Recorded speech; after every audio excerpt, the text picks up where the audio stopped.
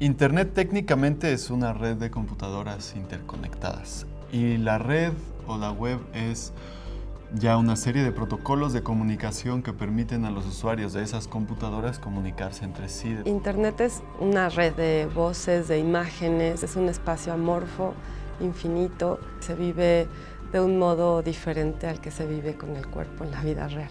Lo vería como ese depositorio donde están como todas las cosas. Creo que es el lugar natural a donde va a ir todo el conocimiento que se ha generado en la humanidad y es como la manera del hombre contemporáneo de permanecer o de generar un toque de eternidad. Las posibilidades que tiene son esencialmente infinitas, tanto para hacer cosas que valgan la pena hacer, que beneficien a mucha gente, tanto como para, perjudicar. Y eso es algo que, que tenemos que tener muy en claro. Internet es nada más un medio, no es en sí benéfico o, o perjudicial. Nació siendo un arma bélica, entonces desde ahí tenemos que tener cuidado. Es como me acuerdo de la novela de Alejo Carpentier, del siglo de las luces, que ya llegaba la ilustración, ya llegaba el progreso, pero también llegaba la horca eh, al nuevo continente. Eso es el Internet. Eh, pues uno de los inventos más prodigiosos de la historia de la humanidad.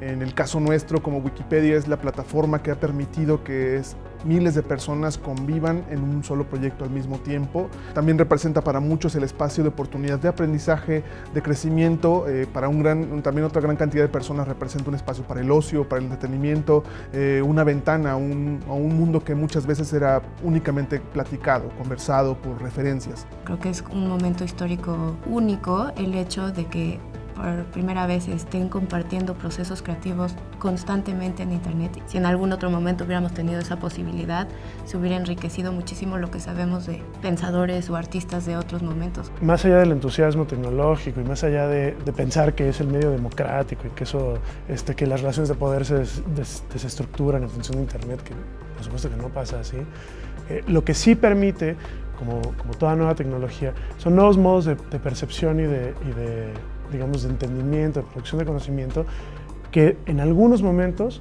pueden ser, subvertir las formas hegemónicas de, distribución del poder. Se presta eh, de igual manera eh, y potencialmente también a que se den las mismas lógicas de control, explotación y juegos de poder eh, que existen en, en el mundo material. Para mí yo creo que es un espacio donde cualquiera puede publicar lo que sea y se ha vuelto muy interesante porque en los medios tradicionales pues no puedes hacer eso, necesitas alguien más para tener cierta voz. Aquí cualquiera puede quejarse o alabar cualquier cosa, entonces es una ventaja.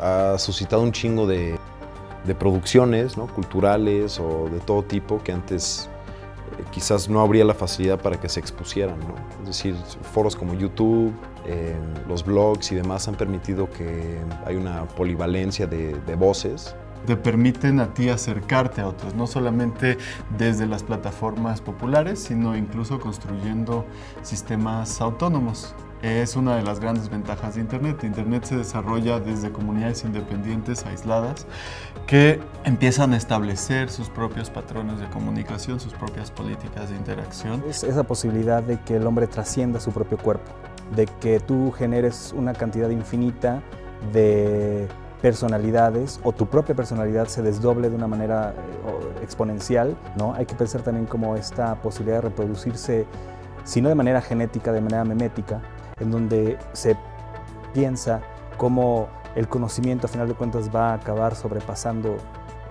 a la humanidad. En el momento en el que tú abandonas el cuerpo como para ser un ente virtual conectado, pierdes una relación humana efectiva con tus, hasta con tus colegas de trabajo, digamos. Recibimos mucha información, pero tenemos pocas experiencias en realidad. Y pareciera que una, que una cosa va de la mano con la otra, ¿no? Entre más información, pareciera que tenemos menos experiencia. Digamos que, que lo negativo de Internet es esta sensación que nos da por el exceso de información de, de tener capacidad de incidir en muchos, en muchos ámbitos. Es un poco lo que pasaba en la Edad Media con la palabra impresa, que si estaba impreso entonces valía muchísimo más que si lo decías como oralmente. No creerse que es un espejo fiel de la realidad, es una herramienta y es manejada, ¿no? Y es manejada y nos maneja, pero una herramienta es un martillo. O sea, obviamente podemos construir una casa con esa herramienta, pero también puede matarnos. Consejo Nacional para la Cultura y las Artes, Secretaría de Educación Pública, Gobierno de la República.